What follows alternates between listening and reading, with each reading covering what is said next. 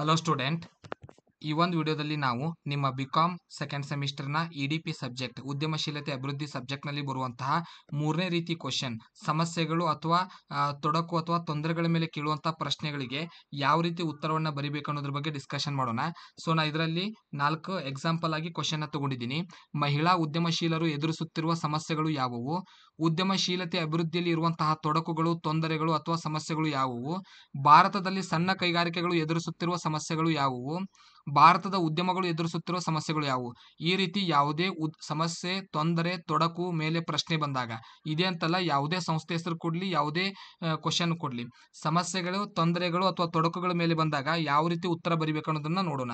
So, ಮೊದಲನೇದ್ದು ಸಮಸ್ಯೆ, ಸಂಘಟನೆಯ ಸಮಸ್ಯೆ. ಪ್ರತಿಯೊಂದು ನಮ್ಮ ದೇಶದಲ್ಲಿ ಇರೋ ತೊಂದರೆ ಏನಂದ್ರೆ, ಸಂಘಟನೆ ತೊಂದರೆ ಇದೆ. ಸೊ, ಇಲ್ಲಿ ಸಂಘಟನೆ ಅಂದ್ರೆ ಏನು? ಒಂದು ಉದ್ಯಮವನ್ನ ಪ್ರಾರಂಭಿಸಬೇಕಂದ್ರೆ ಅದಕ್ಕೆ ಭೂಮಿ, ಶ್ರಮ, ಬಂಡವಾಳ, ವಿದ್ಯುತ್, ನೀರು, ಪ್ರತಿಯೊಂದು ಸೌಕರ್ಯಗಳು ಬೇಕು ಇವುಗಳನ್ನ ಒಂದುಗೂಡಿಸುವುದು ಅಷ್ಟು ಸುಲಭದ ಮಾತಿಲ್ಲ. ಇಲ್ಲಿ ಪ್ರಮಾಣ ಪಡೆದು ಪ್ರಮಾಣ ಪತ್ರ ನೋಂದಣಿ ಪ್ರಮಾಣ ಪತ್ರ ಪಡೆದುಕೊಳ್ಳುವುದರಿಂದ ಹಿಡಿದು ಪ್ರತಿಯೊಂದು ಸಮಸ್ಯೆಯಲ್ಲಿದೆ. ಆದ್ದರಿಂದ ಮೊದಲನೇ ಸಮಸ್ಯೆ ಏನು ಬರಿಬೇಕಂದ್ರೆ ನೀವು? ಸಂಘಟನೆಯ ಸಮಸ್ಯೆ ಅಂತ ಬರಿಬೇಕು. ಇನ್ನು ಎರಡನೇ ಪಾಯಿಂಟ್, ಕಾರ್ಯನಿರ್ವಹಣೆಯ ಪ್ರದೇಶದ ಸಮಸ್ಯೆ.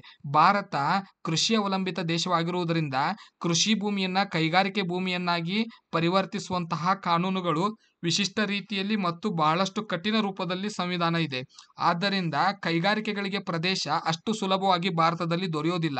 ಸೊ, ಕಾರ್ಯನಿರ್ವಹಣೆಗೋಸ್ಕರ, ಅಂದ್ರೆ ಅವರಿಗೆ ಸ್ಥಳ ಬೇಕು. ಉತ್ಪಾದನೆಗೋಸ್ಕರ, ಫ್ಯಾಕ್ಟರಿಗೋಸ್ಕರ, ತಮ್ಮ ಉದ್ಯಮ ಪ್ರಾರಂಭಿಸುವುದಕ್ಕೋಸ್ಕರ ಇಲ್ಲಿ ಪ್ರದೇಶದ ಸಮಸ್ಯೆ ಇದೆ.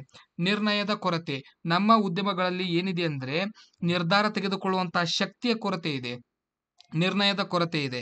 ನುರಿತ ಕೌಶಲ್ಯ ಭರಿತ ಕಾರ್ಮಿಕರ ಸಮಸ್ಯೆ ಅಥವಾ ನುರಿತ ಕಾರ್ಮಿಕರ ಕೊರತೆ.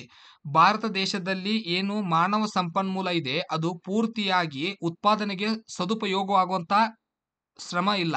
ಅಂದರೆ ಮಾನವ ಸಂಪನ್ಮೂಲ ಹೆಚ್ಚಾದ ಜನಸಂಖ್ಯೆ ಮಾತ್ರ ನಮ್ಮ ದೇಶದಿದೆ ಆ ಹೆಚ್ಚಾದ ಜನಸಂಖ್ಯೆಯಲ್ಲಿ ಕೆಲವೇ ಕೆಲವು ಅಲ್ಪ ಪ್ರಮಾಣದಲ್ಲಿ ಮಾತ್ರ ಕೌಶಲ್ಯ ಭರಿತವಾಗಿದೆ ಮತ್ತು ಕೈಗಾರಿಕೆಗಳಲ್ಲಿ ಉತ್ಪಾದನೆ ಮಾಡುವ ಕೆಲಸವನ್ನು ಕಲ್ತುಕೊಂಡಿದೆ. ಎಲ್ಲರಿಗೂ ಉತ್ಪಾದನೆ ಮಾಡುವಲ್ಲಿ ಮಷಿನ್ ಆಪರೇಟ್ ಮಾಡೋ ಕೆಲಸ ಆಗಲಿ ಅಥವಾ ಕೈಗಾರಿಕೆಗಳಲ್ಲಿ, ಕಾರ್ಖಾನೆಗಳಲ್ಲಿ ಕೆಲಸ ಮಾಡುವಂಥ ಕೌಶಲ್ಯ ಎಲ್ಲರಲ್ಲೂ ಇಲ್ಲ. ಆದ್ದರಿಂದ ಭಾರತದಲ್ಲಿನ ಕಾರ್ಮಿಕರಲ್ಲಿ ಕೌಶಲ್ಯ ಮತ್ತು ನುರಿತತೆಯ ಕೊರತೆ ಇದೆ. ಇನ್ನು ನೆಕ್ಸ್ಟ್ ಹಣಕಾಸಿನ ಸಮಸ್ಯೆ ಅಥವಾ ಹಣಕಾಸಿನ ಕೊರತೆ. ಪ್ರತಿಯೊಂದು ಕೈಗಾರಿಕೆ ಭಾರತದಲ್ಲಿರೋದು ಉದ್ಯಮಶೀಲರು ಮಹಿಳೆಯರಾಗಿರ್ಬೋದು ಅಥವಾ ಉದ್ಯಮಶೀಲತೆ ಅಭಿವೃದ್ಧಿಯಲ್ಲಿ ಆಗಿರ್ಬೋದು ಅಥವಾ ಸಣ್ಣ, ದೊಡ್ಡ, ಮಧ್ಯಮ ಕೈಗಾರಿಕೆಯಲ್ಲಾಗಿರ್ಬೋದು ಹಣಕಾಸಿನ ಕೊರತೆ ಇದ್ದೇ ಇದೆ. ಸೊ ಹಣಕಾಸಿನ ಬಂಡವಾಳದ ಕೊರತೆ ಇದೆ. ಯಾಕಂದ್ರೆ ಭಾರತೀಯ ಮಾರುಕಟ್ಟೆ ಹೆಚ್ಚಾಗಿ ಬ್ಯಾಂಕುಗಳಲ್ಲಿ ಜನ ಹಣ ಇಡೋದಕ್ಕೆ ಇಷ್ಟಪಡ್ತಾರೆ ಹೊರತು ಯಾವುದೇ ಬಿಸ್ನೆಸ್ನಲ್ಲಿ ಬಂಡವಾಳ ಮಾರುಕಟ್ಟೆಯಲ್ಲಿ ಷೇರು ಮಾರುಕಟ್ಟೆಯಲ್ಲಿ ಮ್ಯೂಚುವಲ್ ಫಂಡ್ನಲ್ಲಿ ತೊಡಗಿಸಲು ಹಿಂದ್ಮುಂದೆ ಮಾಡ್ತಾರೆ. ಆದ್ದರಿಂದ ನಮ್ಮ ದೇಶದಲ್ಲಿ ಹಣಕಾಸಿನ ಕೊರತೆ ಇದೆ ಕೈಗಾರಿಕೆಗಳಿಗೆ. ತಂತ್ರಜ್ಞಾನದ ಸಮಸ್ಯೆ ಅಥವಾ ತಂತ್ರಜ್ಞಾನದ ಕೊರತೆ. ಭಾರತ ದೇಶ ಆಧುನಿಕತೆಗೆ ಬಂದಿದೆ ಆದರೂ ಕೂಡ ತಂತ್ರಜ್ಞಾನದಲ್ಲಿ ಪೂರ್ತಿಯಾಗಿ ವಿದೇಶಿ ಪೈಪೋಟಿ ಮಾಡುವಷ್ಟು ಸಾಮರ್ಥ್ಯವನ್ನು ಹೊಂದಿಲ್ಲ. ನಮ್ಮಲ್ಲಿ ತಂತ್ರಜ್ಞಾನದ ಕೊರತೆ ಇದೆ. ಮೂಲ ಸೌಕರ್ಯಗಳ ಕೊರತೆ. ಭಾರತ ದೇಶದಲ್ಲಿ ಎಲ್ಲ ಸೌಕರ್ಯಗಳು ಇದ್ದರೂ ಕೂಡ ಕೆಲಸ ಕೈಗಾರಿಕೆಗಳಿಗೆ ಸ್ಥಾಪನೆ ಆಗುವಂತ ಎಲ್ಲ ವಾತಾವರಣವು ಸೃಷ್ಟಿಯಾದರೂ ಕೂಡ ಕೆಲವೊಂದು ಪ್ರದೇಶದಲ್ಲಿ ಸಾರಿಗೆ ಕೊರತೆ ಇದ್ರೆ, ಕೆಲವೊಂದಿಷ್ಟು ಪ್ರದೇಶದಲ್ಲಿ ವಿದ್ಯುತ್ನ ಕೊರತೆ ಇದೆ, ಕೆಲವೊಂದಿಷ್ಟು ಪ್ರದೇಶದಲ್ಲಿ ನೀರಿನ ಕೊರತೆ ಇದೆ. ಈ ರೀತಿ ನಮ್ಮ ದೇಶದಲ್ಲಿ ಮೂಲ ಸೌಕರ್ಯಗಳ ಕೊರತೆ ಇದೆ. ತರಬೇತುದಾರರ ದಕ್ಷತೆ ಇಲ್ಲದಿರುವುದು, ನಮ್ಮ ದೇಶದಲ್ಲಿ ಉದ್ಯಮಶೀಲರನ್ನ ಅಭಿವೃದ್ಧಿಪಡಿಸುವಂತಹ ತರಬೇತುದಾರರು ಏನಿದ್ದಾರೆ ಅಥವಾ ಕಾರ್ಖಾನೆಗಳಿಗೆ ಕೈ, ಕಾರ್ಮಿಕರನ್ನ ತಯಾರು ಮಾಡುವಂತಹ ತರಬೇತುದಾರಿದ್ದಾರೆ ಏನಿದ್ದಾರೆ, ಅವರಿಗೆ ದಕ್ಷತೆ ಇಲ್ಲ. ವಿಭಿನ್ನ ಅಭಿಪ್ರಾಯಗಳು. ಉದ್ಯಮಶೀಲತೆಯಲ್ಲಿ ನಿರ್ಧಾರಗಳನ್ನು ತೆಗೆದುಕೊಳ್ಳುವಾಗ ಹೂಡಿಕೆದಾರರಾಗಬಹುದು ಅಥವಾ ನಿರ್ದೇಶಕರಾಗಬಹುದು, ವ್ಯವಸ್ಥಾಪಕರಾಗಬಹುದು ವಿಭಿನ್ನ ಅಭಿಪ್ರಾಯಗಳನ್ನು ಹೊಂದಿದ್ದಾರೆ. ಸಾಕಷ್ಟು ಸಂಶೋಧನೆ ಇಲ್ಲದಿರುವುದು. ಭಾರತೀಯ ಮಾರುಕಟ್ಟೆಯಲ್ಲಿ ನಿಜವಾಗ್ಲೂ ಯಾವ ವಸ್ತುವಿಗೆ ಹೆಚ್ಚು ಬೇಡಿಕೆ ಇದೆ ಅನ್ನೋ- ಅನ್ನುವುದನ್ನ ಕಂಡುಹಿಡಿಯೋದಕ್ಕೆ ಆಗ್ತಾ ಇಲ್ಲ. ಸಂಶೋಧನೆ ಮತ್ತು ಅಭಿವೃದ್ಧಿಯಲ್ಲಿ ಕೊರತೆ ಇದೆ. ಮಾರುಕಟ್ಟೆ ಬಗ್ಗೆ ಜ್ಞಾನ ಕಡಿಮೆ. ನಮ್ಮ ದೇಶದಲ್ಲಿನ ಜನರಲ್ಲಿ ಮಾರುಕಟ್ಟೆ ಬಗ್ಗೆ ತಿಳುವಳಿಕೆ ಕಡಿಮೆ ಇದೆ. ಯಾವ ವಸ್ತುವನ್ನ ಯಾವ ರೀತಿ ಪರ್ಚೇಸ್ ಮಾಡಬಹುದು ಯಾವ ರೀತಿ ಖರೀದಿ ಮಾಡಬಹುದು ಅನ್ನೋದ್ರ ಬಗ್ಗೆ ಮಾಹಿತಿ ಗೊತ್ತಿಲ್ಲ.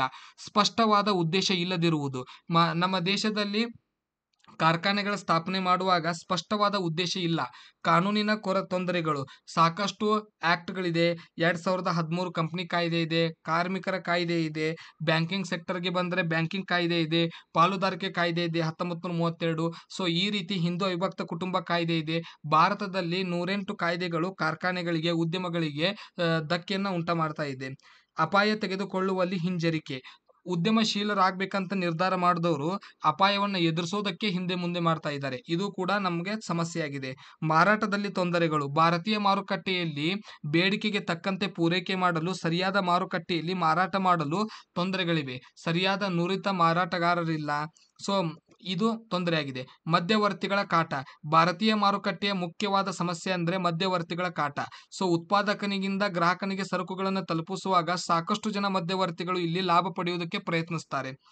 ವಿಪರೀತವಾದ ಸ್ಪರ್ಧೆ. ಭಾರತೀಯ ಮಾರುಕಟ್ಟೆ ಹತ್ತೊಂಬತ್ತು ನೂರ ತೊಂಬತ್ತೊಂದರ ನಂತರ ಲಿಬರಲೈಸೇಷನ್, ಪ್ರೈವೇಟೈಸೇಷನ್, ಗ್ಲೋಬಲೈಸೇಷನ್, ಖಾಸಗೀಕರಣ, ಉದಾರೀಕರಣ, ಜಾಗತೀಕರಣವನ್ನು ಒಪ್ಪಿಕೊಂಡ ನಂತರ ಭಾರತೀಯ ಮಾರುಕಟ್ಟೆಯಲ್ಲಿ ಬಹಳಷ್ಟು ರೀತಿಯ ಬದಲಾವಣೆ ಉಂಟಾಗಿದ್ದರಿಂದಾಗಿ ಸಾಕಷ್ಟು ಈಗಾಗಲೇ ಭಾರತದಲ್ಲಿ ಮಾರಾಟ ಮಾಡುವಂತಹ ಕಂಪನಿಗಳು ಆಲ್ರೆಡಿ ಎಕ್ಸಿಸ್ಟ್ ಇದೆ. ಅಂದರೆ ನಮ್ಮ ದೇಶದಲ್ಲಿ ಇದೆ. ಇದರಿಂದಾಗಿ ವಿಪರೀತವಾದ ಸ್ಪರ್ಧೆ ಉಂಟಾಗುತ್ತೆ. ಹೊಸ ಕಂಪನಿಗಳು, ಉದ್ಯಮಶೀಲರು ಉದ್ಯಮ ಸಾಹಸಿಗಳು ಸ್ಥಾಪನೆ ಮಾಡುವಾಗ ಹಿಂಜರಿಕೆ ಮಾಡ್ತಾರೆ. ಯಾಕಾದರೆ ವಿಪರೀತವಾದ ಸ್ಪರ್ಧೆಯಿಂದಾಗಿ. ಸಾಲದ ತೊಂದರೆ. ಭಾರತೀಯ ಮಾರುಕಟ್ಟೆಯಲ್ಲಿ ಉದ್ಯಮಗಳನ್ನ ಪ್ರಾರಂಭಿಸೋದಕ್ಕೋಸ್ಕರ ಹಣಕಾಸು ಸೌಲಭ್ಯ ಪಡಿಬೇಕಂದ್ರೆ, ಸಾಲ ಪಡಿಬೇಕಂದ್ರೆ ಸಾಕಷ್ಟು ನಿಯಮ ನಿಯಮಾವಳಿಗಳು ತೊಂದರೆಗಳನ್ನ ಕೊಡುತ್ತೆ. ಸಾಮಾಜಿಕ ಅಡೆತಡೆಗಳು. ಭಾರತ ಧಾರ್ಮಿಕವಾಗಿ ಜಾತ್ಯತೀತವಾಗಿದ್ರೂ ಕೂಡ ಕೆಲವೊಂದಿಷ್ಟು ವಿಷಯದಲ್ಲಿ ಧರ್ಮದ ಅಡೆತಡೆ ಗೋಡೆಗಳು ಇನ್ನೂ ಕೂಡ ಭಾರತದಲ್ಲಿ ಇವೆ.